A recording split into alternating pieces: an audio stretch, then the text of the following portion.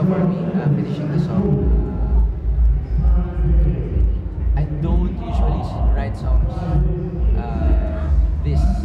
It doesn't usually take me this long to finish a song. So that's your longest song.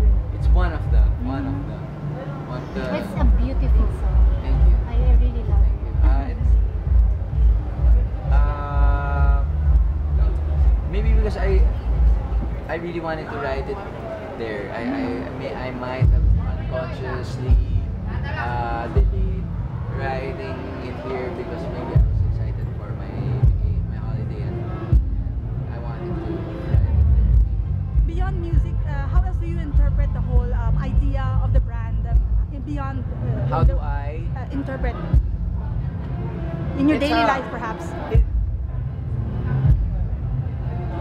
like uh, the examples I gave you before. No?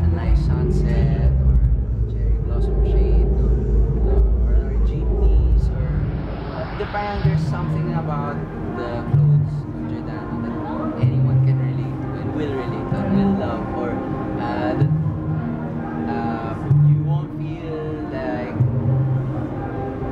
there's stuff